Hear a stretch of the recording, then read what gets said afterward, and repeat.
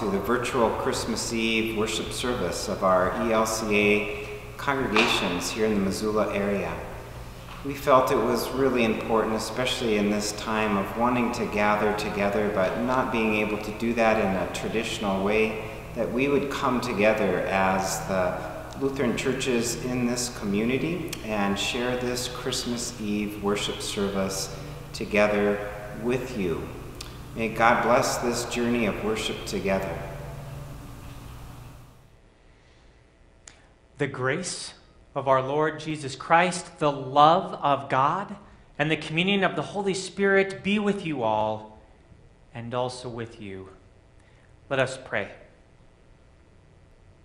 Almighty God, you have made this holy night shine with the brightness of the true light. Grant that here on earth we may walk in the light of Jesus' presence and in the last day wake to the brightness of his glory. Through your Son, Jesus Christ our Lord, who lives and reigns with you in the Holy Spirit, one God, now and forever. Amen. Let us now listen to our Christmas Eve scripture readings. Blessed be the Holy Trinity, one God who shines in glory, clothes us in compassion, and bears gifts of mercy for all. Let us confess our sins with confidence in God's promises of forgiveness. We'll have silence for self reflection.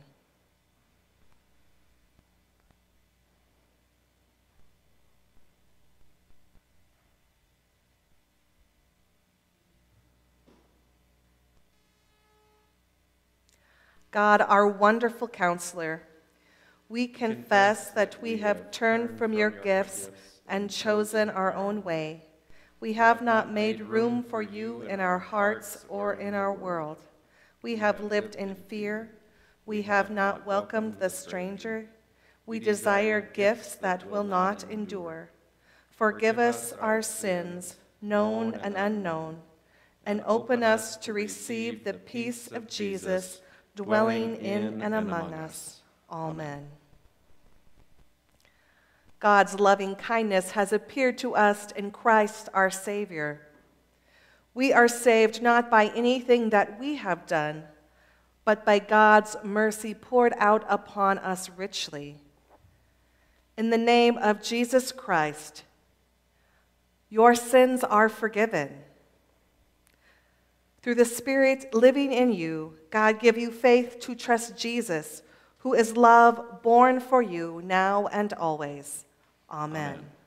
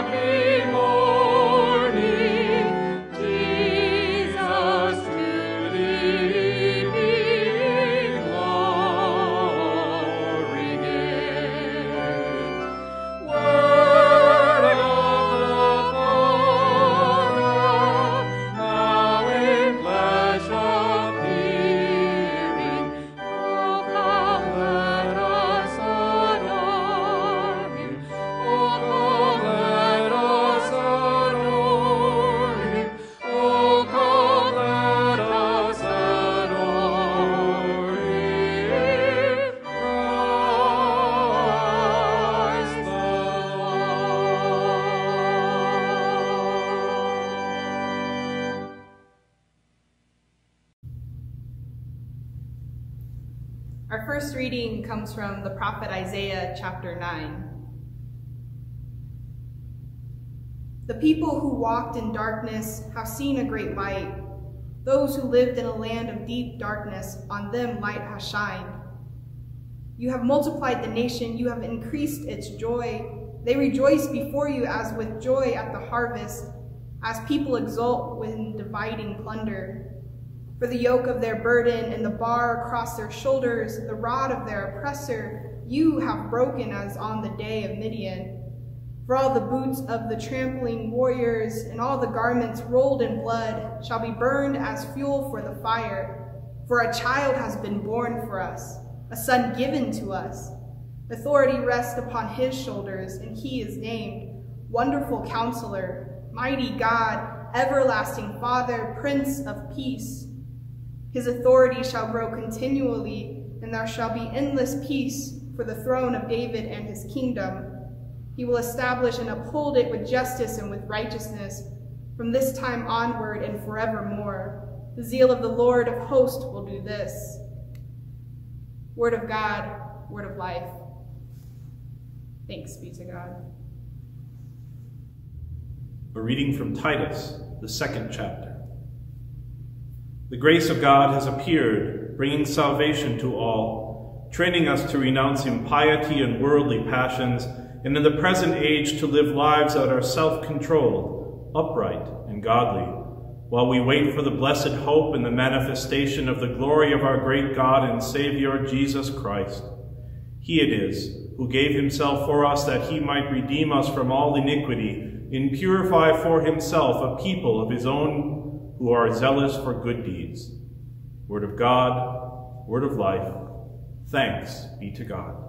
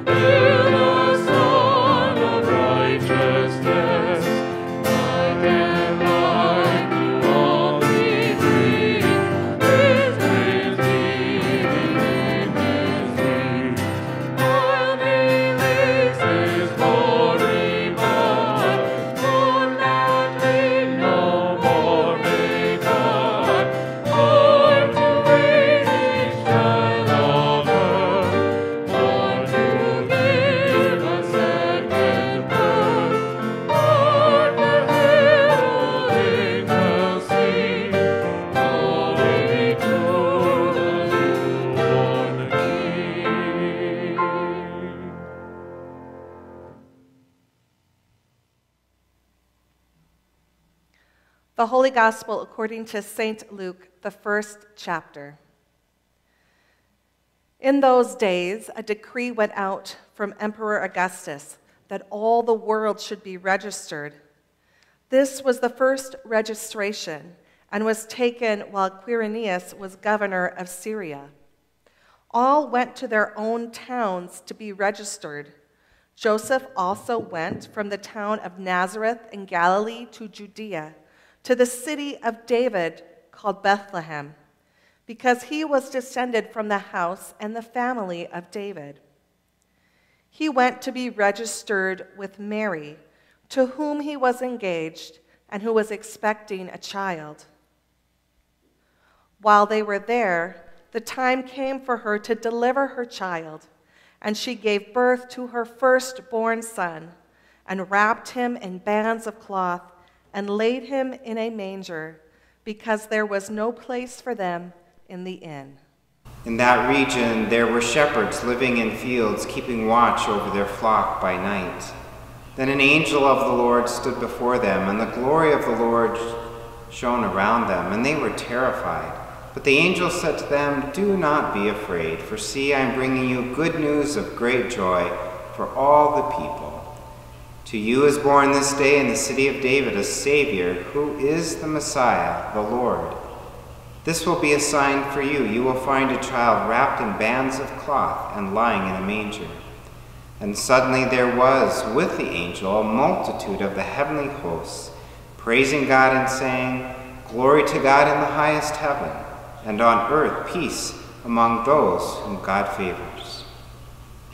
When the angels had left them and gone into heaven, the shepherds said to one another, Let us go now to Bethlehem and see this thing that has taken place, which the Lord has made known to us. So they went with haste and found Mary and Joseph and the child lying in the manger. When they saw this, they made known what had been told them about this child. And all who heard it were amazed at what the shepherds told them. But Mary treasured all these things and pondered them in her heart. The shepherds returned, glorifying and praising God for all they had heard and seen, as it had been told them. The Gospel of the Lord. Praise to you, O Christ. Please join me in prayer. Almighty God, you made this hallowed night filled with the glory of the true light. Grant that the same light enkindled in our hearts may shine forth in our lives. Through Jesus Christ our Lord. Amen.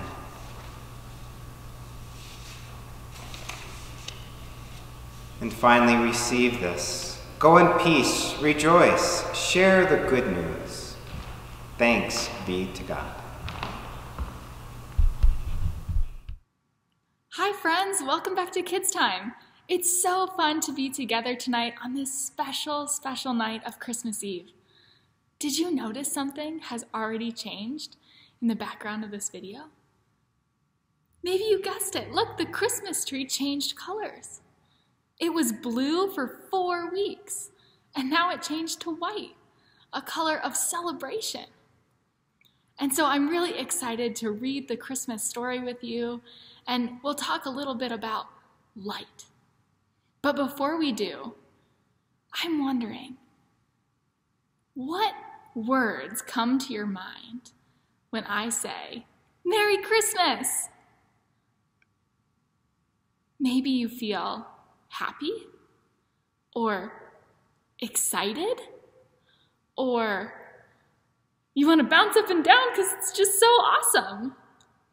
So, I'm going to say Merry Christmas, and I want to see your most excited Christmas Eve face. Ready? Merry Christmas! I hope that you are just as excited as I am for this really special, special night together. And so, we're going to read from our Storybook Bible. We've taken a break from it the past few weeks on Sunday mornings, but tonight, we're going to read that special story about Mary and Joseph and baby Jesus. If you have a Spark Bible, I would invite you to pause this video and go and grab it so that you can follow along in our Christmas story. And if you're following along, you can open to the story called Jesus is Born and it's on page 212. So let's read it together. We have to go to Bethlehem, Joseph told Mary. Emperor Augustus has ordered that all of the people need to be counted. But Joseph, Mary said, what about our baby? He will be born soon. We'll go slowly, Mary. Bethlehem will be crowded, so we need to leave now. So Mary and Joseph journeyed to Bethlehem, the city of David to be counted along with all of the other people. It was cold when they arrived. Joseph knocked on many doors looking for a room, but everyone said no. Finally, an innkeeper answered his door. I have no room, the innkeeper said, but you can stay in the little stable in the back. It's warm and the hay is fresh. Joseph, Mary said, I think it's time for the baby to be born. That night, Mary gave birth to Jesus. She laid him in a manger. The animals kept them warm as they waited for morning.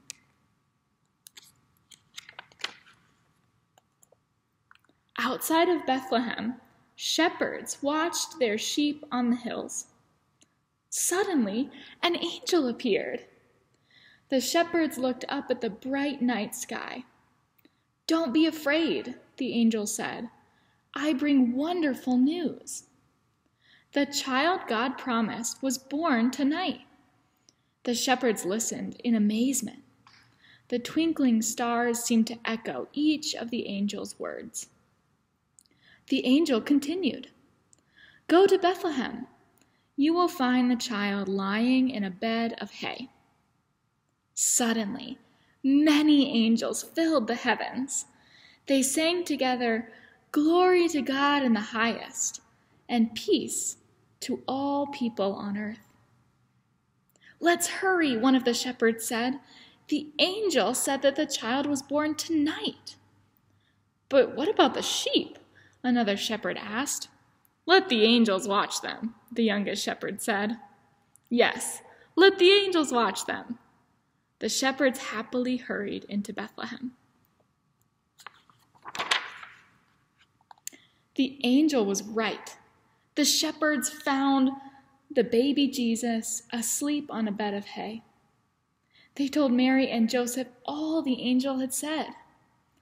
The angel said the baby is the Messiah, the promised one. He is the one we have been waiting for, they explained. But this is a stable. Why would God be born here, among the animals? Moo, said the cow. Bah, said the sheep. Coo, coo, said the dove. Mary smiled. She knew that Jesus was Emmanuel, God with us. Later, the shepherds returned to their sheep praising God for all they had seen and heard. Jesus was born. Well, since we've been up here for the last few weeks, I thought we would come up next to the Advent wreath and the Christmas tree to really feel like it is Christmas Eve tonight. Now, I'm wondering, what are some things that you think of when you think about Christmas? Can you name Two, maybe turn to someone who's sitting near you, your parents or your family, and share with them two things that make you think of Christmas.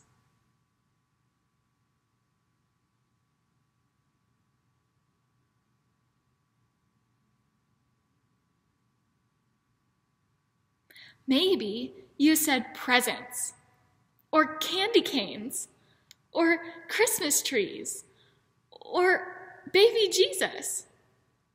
And all of those things definitely remind us of Christmas. But there's one really special thing that reminds me of Christmas light. I don't know if you noticed, but remember, our Christmas tree turned from blue to bright white. And Now all of our Advent candles are lit, and we get to light the middle one, the Christ candle. So, will you help me bring some more light by lighting our middle candle?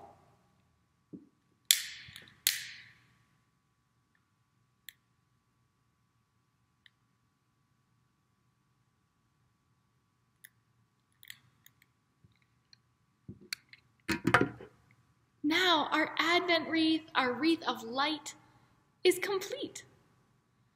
And to make it even more special, let's turn off the lights. You know, there's something really special about turning all the lights off and just having the light of our Christmas tree and our Advent wreath, the light of our candles you really notice how bright those lights are. And so, you know how sometimes on Christmas Eve we all have our candles and we light them together as we sing Silent Night? Well, this year, because you're at home with your family, you could make it even more special by lighting a candle together and singing Silent Night, or just enjoying the beautiful light that shines in the darkness. So, I would invite you to ask a parent or a family member or grown up to help you light a candle. Because another thing that light does, it doesn't just help us see, but it reminds us of Jesus is the light of the world. And Jesus' light shines in you and through you. So even though we can't see that light like a candle, we know that it shines bright in each one of us. So tonight, as you light your candles and celebrate this special, special night of Christmas Eve, remember this birth of Jesus is the light in a dark room, and we can see that in the lights all around us and inside of us. So, Merry Christmas, friends. I hope that tomorrow is wonderful for you and you enjoy this special night with your family. Bye, everybody. Merry Christmas.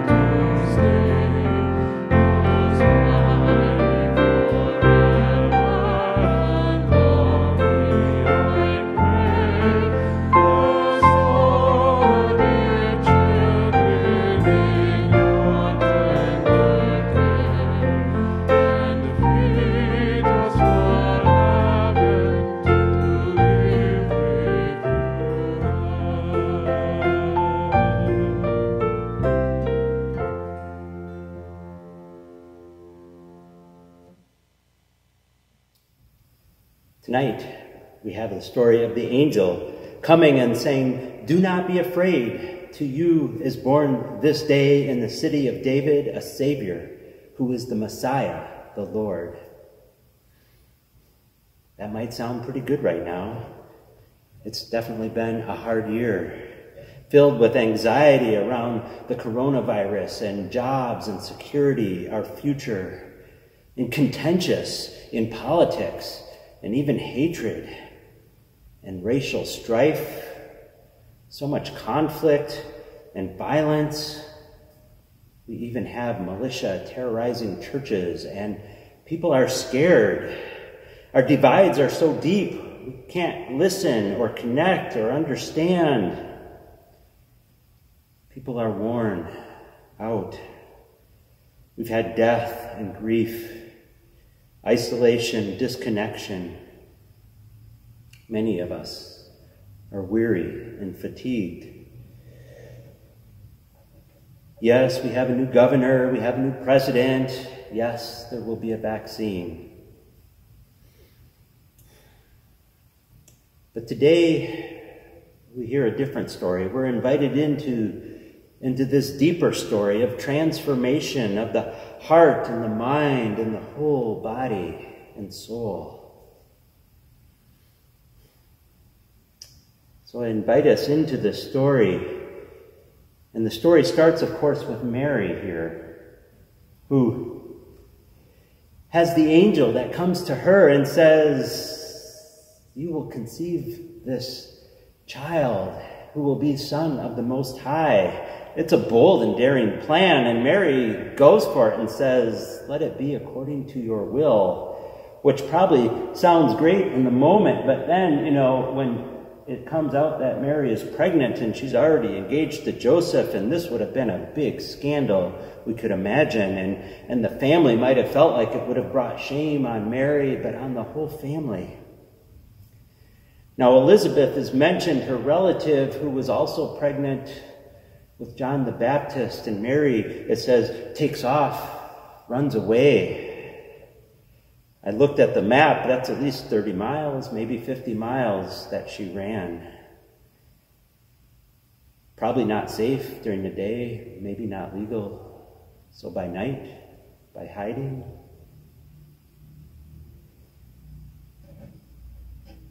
Now, Elizabeth is the wife of a priest and this is a linchpin of this story. Now, Zechariah didn't believe that Elizabeth could get pregnant from the, the angel when the angel came to him, and he was mum. And so when Mary comes and she's in trouble, it's Elizabeth who gets to say. And the child leaps in Elizabeth's womb, and she invites Mary in. She takes this risk and flips the script from shame to blessing and blesses Mary and blesses that child in her womb and says, This is going to be a special baby. And Mary sings that Magnificat, saying that God has scattered the proud, has lifted up the lowly, has filled the hungry with good things. This story reminds me of all the strong women who take risks and speak truth. And we remember the many kids, teenagers who, who find themselves running away. Perhaps because they're pregnant or because of their sexuality or their gender identity or something else, but it's not safe to be home and they are on the run. And I want to lift up men and women who who break through those cycles of shame to welcome, to love, to bless, to give dignity and worth, especially to those kids. Well, in this story, we also have Joseph here, who was engaged to Mary. And, and when the news broke of her being pregnant, I'm sure his whole family probably thought, well, now that's it, it's all off.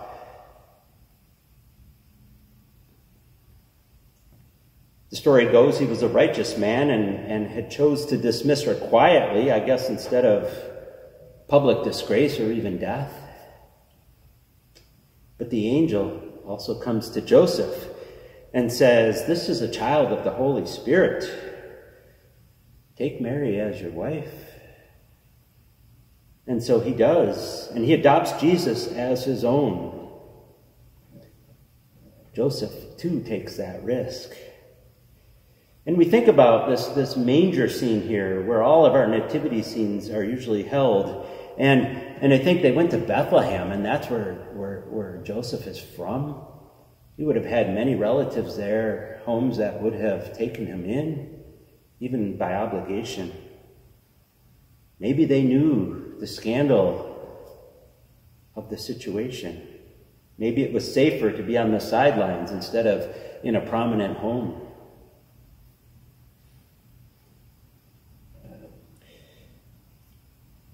Reminded of all the parents who open their hearts up and adopt children,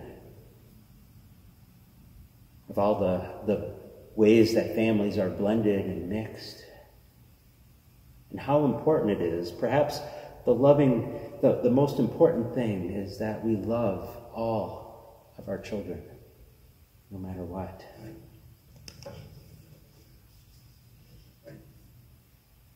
Well, in this story, we also have the shepherd here. The shepherds were out in the fields watching the sheep when the angel comes and says, In the city of David is born this night a Savior, the Messiah. And we think about how big of a deal that is. Remember the city of David, David the king, when things were good, when they had autonomy and freedom. But they don't have freedom any longer. They don't have autonomy. Now they are occupied by the Roman Empire, by soldiers in their land. The Romans are there to build wealth and power by taking all they can the logging, the mining, everything from the farming, the livestock, huge taxes, hard labor. And they keep power by dehumanizing and belittling the people of that land and threatening with acts of violence that could come at any time. We could imagine how demoralizing and difficult the anxiety that they are living with every day, the fear, the depression, living at a point of almost or absolutely being broken. It's hard to understand for many of us what that would be like. But I have been reading and listening to stories of First, First Nation peoples in this land as they encountered first traders and then, and then early settlers, but then, but then soldiers with, with battles and, and and then massacres and diseases and more settlers that took over the land and occupied the land and the land that they had been on for, for hundreds of years and generations and cared for now was occupied by this foreign people with foreign language and customs and practices and to have their own languages and customs and practices outlawed and banned and to be shuttled into, into camps and to have kids taken away and sent to schools to be westernized and Christianized. I think of our Bitterroot Salish and Blackfeet and Oreille and Kalispel and, and other First Nation tribes that were in this area and how painful and difficult. It's been many trails and many tears for many generations. And they're still here. They're strong and they are resilient. And they too want healing. And it's time for those of us who are settlers for, for deep listening, humility, relationship building, and repentance.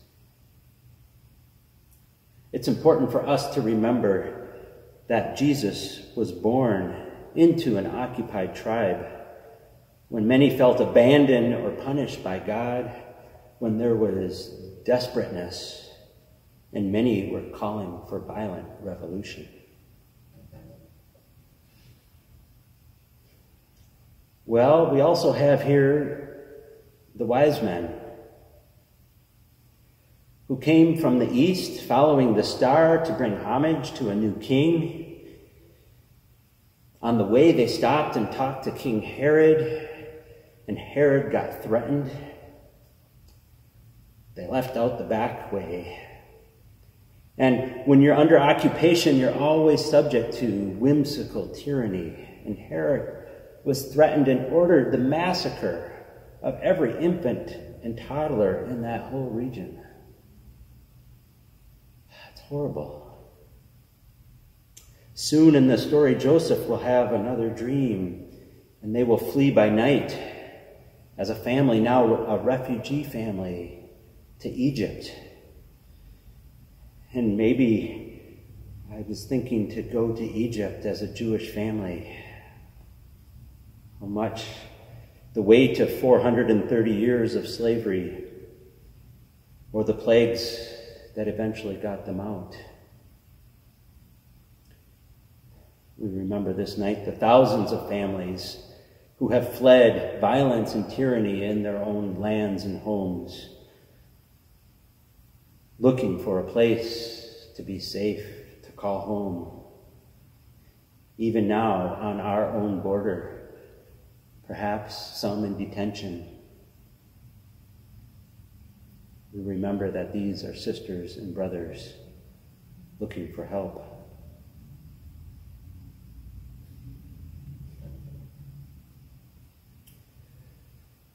Well, those shepherds brought along with them also the sheep. We have the, the donkey.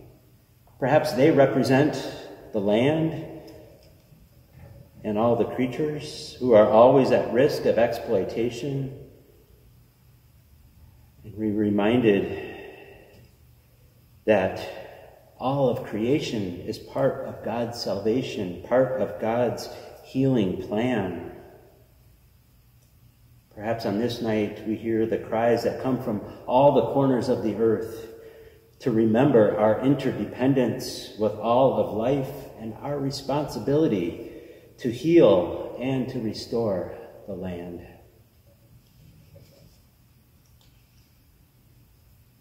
Well, finally, we get to this baby Jesus.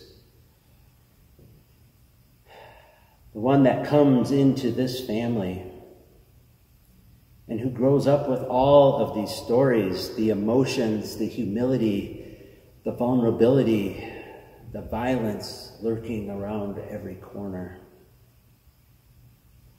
And the miracle, the miracle of our story tonight is that the God of all creation, the hundreds and billions of galaxies throughout our whole universe, and even the hundreds and millions of stars within our own galaxy. That God loves our own little planet so much that God chose to come into our world in this family, in the flesh and bones and blood of this baby Jesus, Emmanuel, God with us not for revenge or to punish, but as a presence of deep compassion for, for all life and for all people.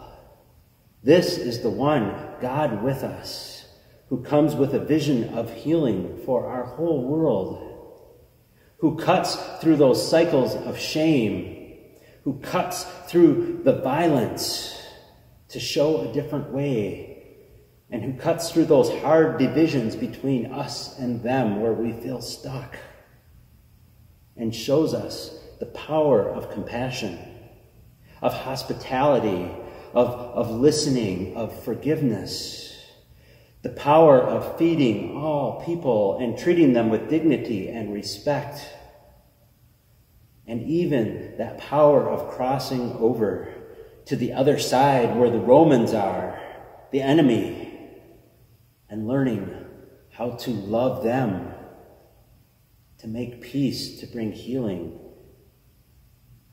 And he invites us into that vision of healing and to that story of humility and service and sharing and self giving love and risk taking for the sake of others. And we know that this Emmanuel story is not over, that this Jesus promises to be with us. It is the living Christ now that is with you, your flesh, your bones, your blood. That no matter how lost or broken or lonely or hurt or angry or despair you may feel, or any of us may feel, Emmanuel is in you, God with you, bringing love and compassion, healing, and even hope. We have one more here. The angel, this one, the messenger of God, has been very busy in this story. The one who comes to Mary and Joseph, Elizabeth, Zachariah, the shepherds, the wise men. It's this angel who has really orchestrated the whole thing. The one that comes as a surprise in the night, in our dreams our unconscious, perhaps through the stranger or the friend, the raven in the wood. Beware the angel, the one that comes to stir up trouble. But it's a good trouble. It's an awakening, a vision, with a plan, with action, with risk, with, with a story. Service, justice. It's this angel that comes to you that will come to you and say, Child of God, we need you. You're next. It's time to step up, to be part of the next plan, to be part of Emmanuel, God with us, the next story of healing and loving and compassion in the world. God is with us, bringing new life again and again into our broken world. Thanks be to God. Merry Christmas.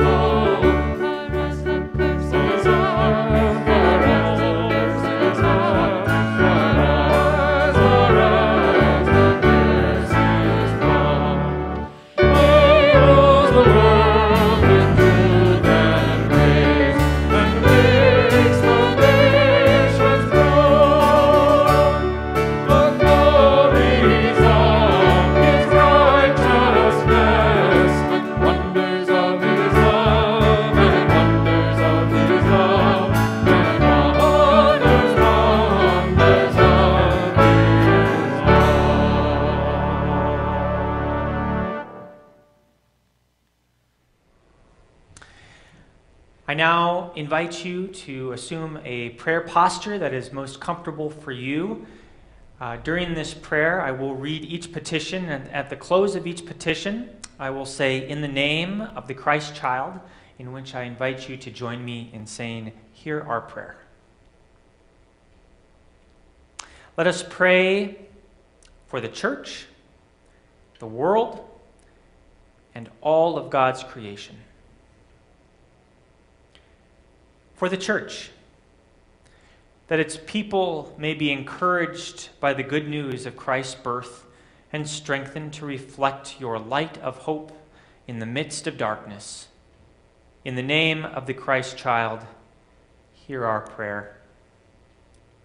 In thanksgiving for the good gifts of family and friends, food and shelter, for our loved ones at home or away or traveling, that they may be filled with joy. In the name of the Christ child, hear our prayer.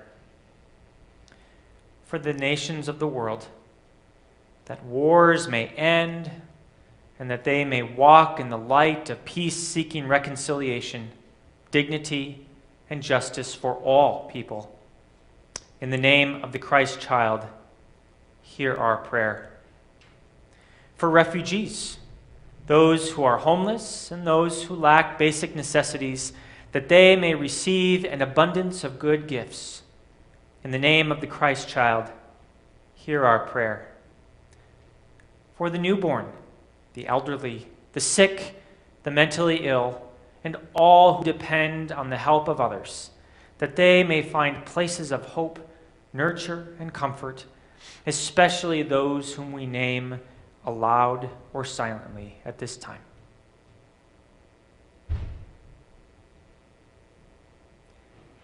In the name of the Christ child, hear our prayer.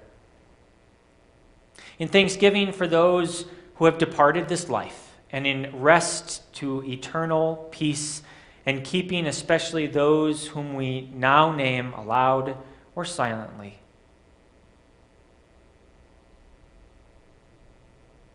Grant us comfort until we join them in your eternal embrace. In the name of the Christ child, hear our prayer. Trusting in your mercy, O God, we commend to you all for whom we pray. Jesus Christ, our Savior and Lord. Amen. The peace of Christ be with you always, and also with you.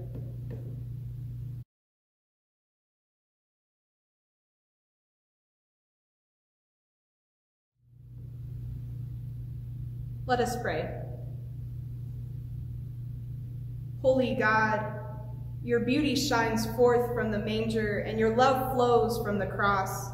As you gather us around these signs of your love, come among us. Warm us to extend your care among the hungry and all in need. In Jesus' name we pray. Amen. The Lord be with you, and also. Lift up your hearts. We lift them to the Lord. Let us give thanks to the Lord our God. It is right to give our thanks and praise. It is indeed right, our duty and our joy, that we should at all times and in all places give thanks and praise to you, Almighty and merciful God, through our Savior Jesus Christ. In the wonder and mystery of the Word made flesh, you have opened the eyes of faith to a new and radiant vision of your glory, that beholding the God made visible, we may be drawn to love the God whom we cannot see. And so with all the choirs of angels, with the church on earth and the hosts of heaven, we praise your name and join their unending hymn.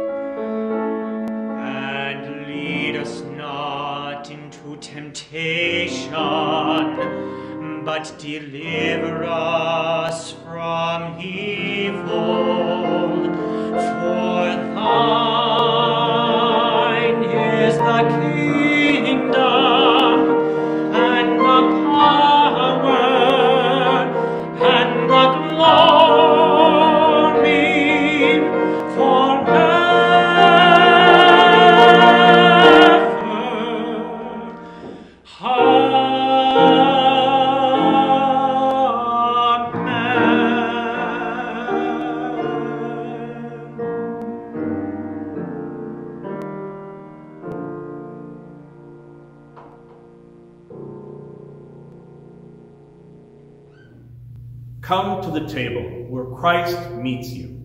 Eat, rejoice,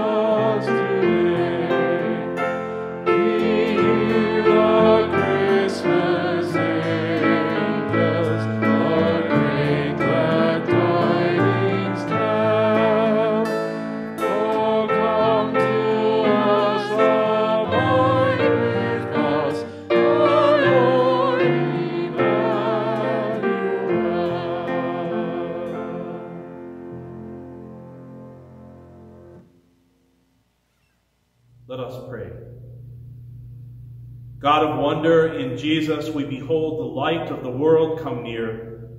As you have come among us now, send us out in joy, hastening to share the good news of your love.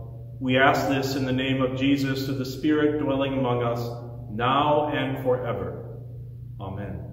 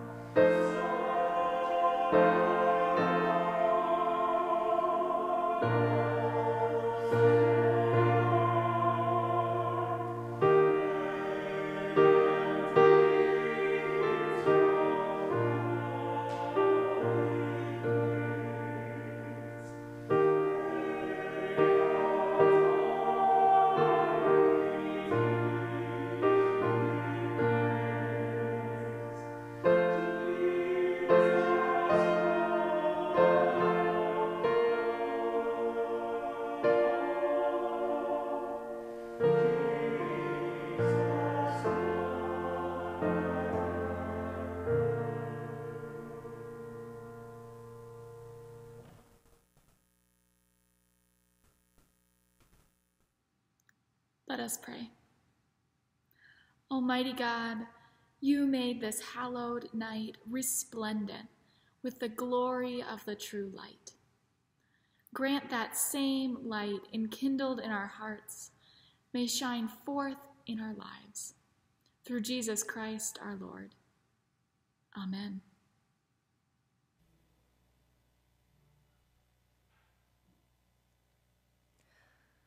And now may God, the Creator who delights in you, Jesus, the Savior who is born for you, and the life giving Spirit who shines upon you, bless you and keep you in hope and peace now and forever.